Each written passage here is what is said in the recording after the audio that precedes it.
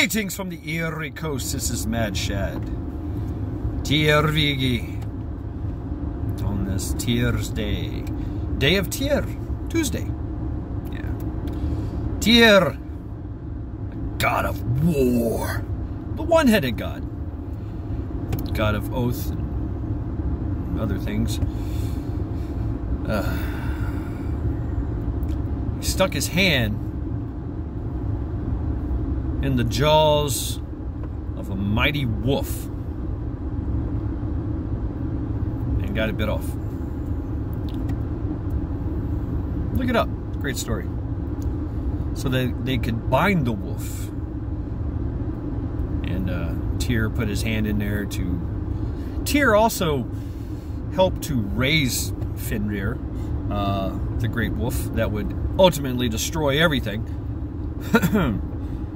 and uh, Fenrir was was wary about what's going on here. He's like, "Why you want to put a a a silver thread around my neck? You, of, of course, I'm going to break it, but just in case one of you puts your hand in my mouth and you know as a token of good faith." Even though the gods were trying to trick Fenrir to uh, imprison him.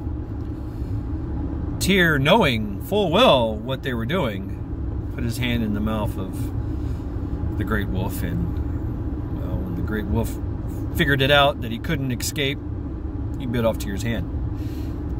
Tyr also had a sword. Kind of. Well, he could have had a sword. It's called Tyrfing. A sword that, when drawn, must taste blood uh, and would vanquish all foes in battle. So, yeah, oddly enough, Tyr used to be in charge of the Aesir, uh, and then Odin came along and took over, which Tyr, Tyr said, okay, fine. So that tells you a little bit about. And there's also a rumor that Tyr was Odin's son, somehow. Of course, Odin being the All Father, okay, but you know, whatever. Uh,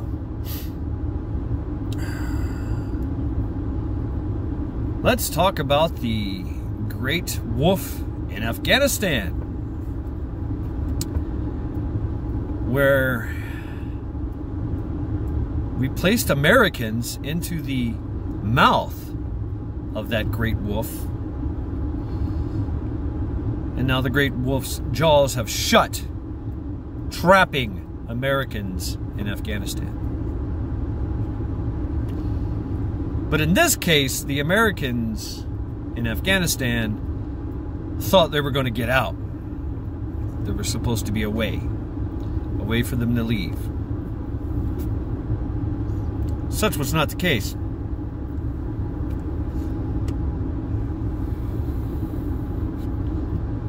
I just see the correlation. Story. Hence the story. But there are still Americans trapped in Afghanistan. Every day, never forget.